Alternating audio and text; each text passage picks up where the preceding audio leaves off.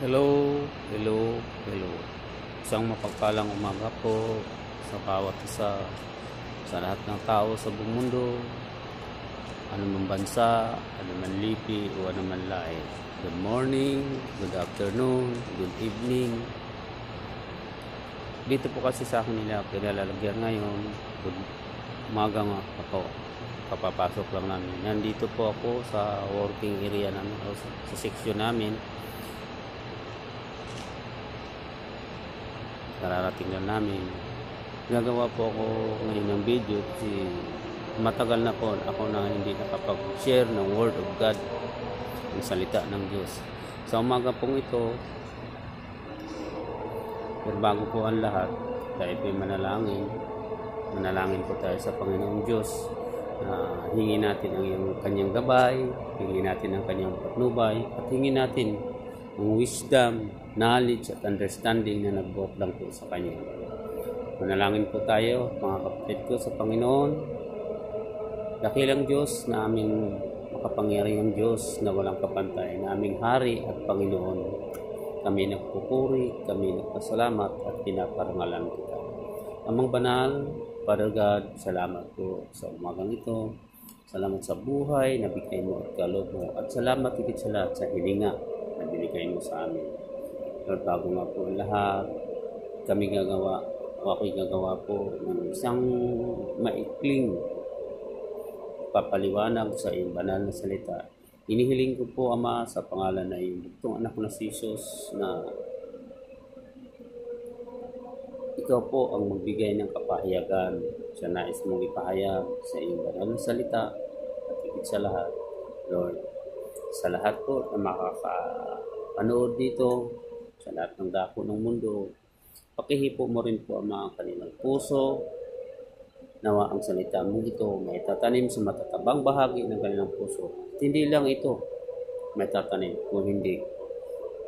Lord, ito po'y tutubo, tutubo, lalago, at higit sa lahat, isa pumumuhay, application ng buhay, magiging maraming magiging ito po ang dahilan kung paano magpabago ang buhay ng bawat isa.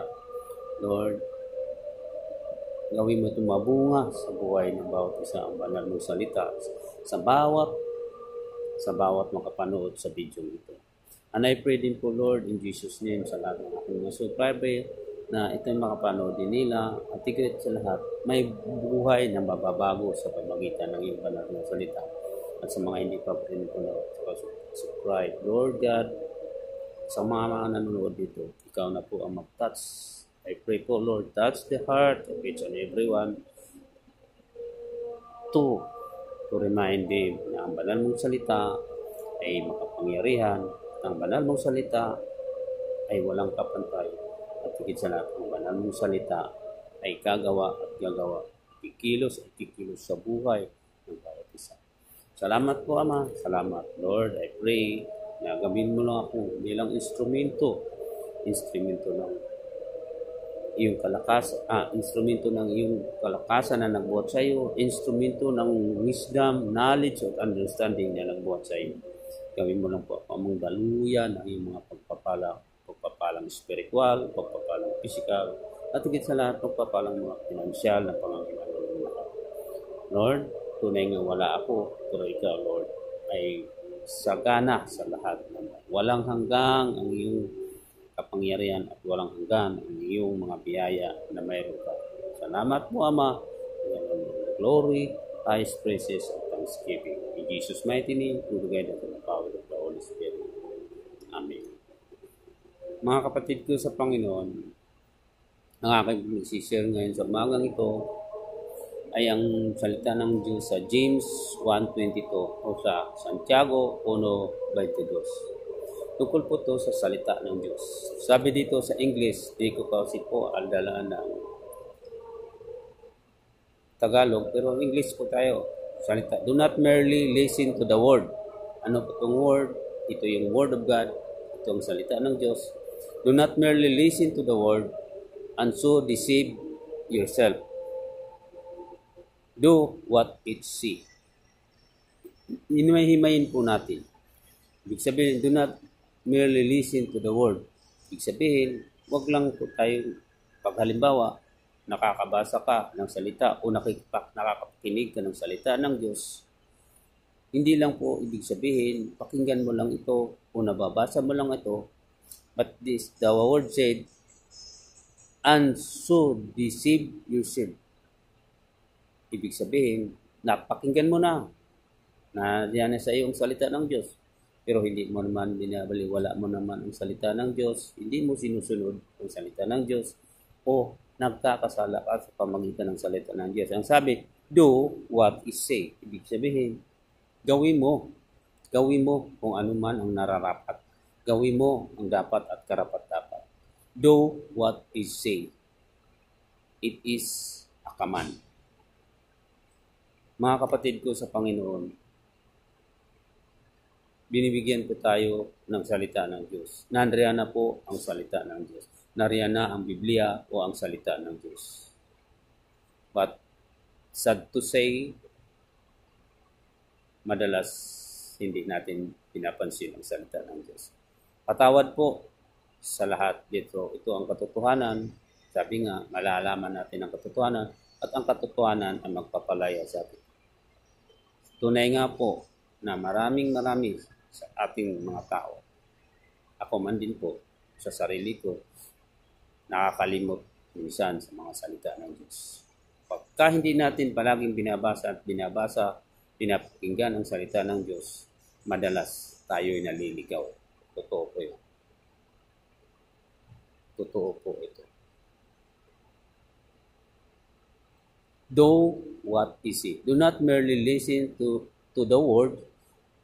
Huwag lang na po tayo makikinig lang. Huwag lang po tayo magbabasa lang. And deceive yourself. Tapos, dinaliwala lang po natin. Hindi po ito ang nais ng Diyos tungkol sa kanyang banal na salita. Kundi, do what is said. Ibig sabihin, do what is said. Ibig sabihin, gawin mo. Gawin mo ang anumang sinasabi. Gawin mo itong application sa buhay mo at mangyayari. Ito'y mga ang salita ng Diyos ay gawin mo application sa buhay mo at ito'y mangyayari at mangyayari sa iyo. Do what is said. Sabihin, gawin mo to sa buhay mo. Simple lang po. Una,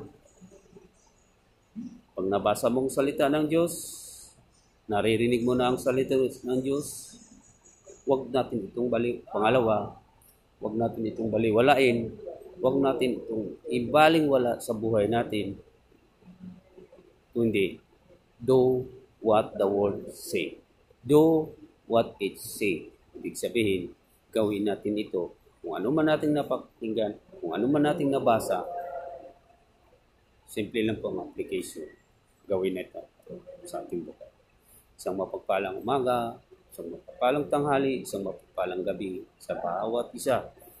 Nawa ang bidyong ito, mga kapatid ko sa Panginoon, friends, relatives, subscriber, nawa ang bidyong ito magbibigay ng pagpapala sa atin na may magbibigay ito ng pagbabago sa buhay ng bawat isa sa atin at higit sa lahat, matuto tayo na unti-unti nating baguhin ang buhay natin sa pamamagitan ng banal na salita ng Diyos. James 1.22, Do not merely listen to the words and so deceive yourself. Do what is said. Command po to. Ano po ang pinaka-solusyon sa lahat? Obey. Obey. Do what it says. Isang mapagpalang umaga, isang mapagpalang tanghali, isang mapagpalang gabi sa bawat isa. At sa lahat po na aking subscriber nawa hindi lang po ito hindi lang ito baliwalain bugpos ito'y magiging magiging aral higit pa sa ginto higit pa sa ginto na ating natatanggap o higit pa sa lahat ng blessing na ating natatanggap sapagkat ang salita ng Diyos ay marami itong magagawa sa buhay natin kung ito lang po ay ating pakinggan at higit sa lahat, do what the word it say. Isang mapagpalang tanghali, isang mapagpalang gabi, isang mapagpalang umaga sa bawat isa. Salamat, salamat, salamat po sa bawat isa. Nawa ang salita po ng Diyos. Lord, ikaw po ang maghipo ng puso at isipan sa bawat isa. Salamat po. Please subscribe Joselito TV. Subscribe, like, share. At pakipindot ko rin po ama. Ah, pakipindot po ninyo, sorry. Pakipindot po rin ninyo ang notification bell upang kayo'y tapos pindutin nyo ng all pang sa anumang aking video i-upload magkaroon po tayo ng notification. Salamat, salamat. Isang mapagpalang umaga, isang mapagpalang gabi, tanghali, hapon sa bawat isa sa buong mundo. To God be the glory po. Sa Kanya lang ang lahat. Praises and glory and blessing sa lahat ng tao na ay mapasain natin. Ingat, ingat, ingat po tayo. Take care, each and everyone. God be the glory. Amen.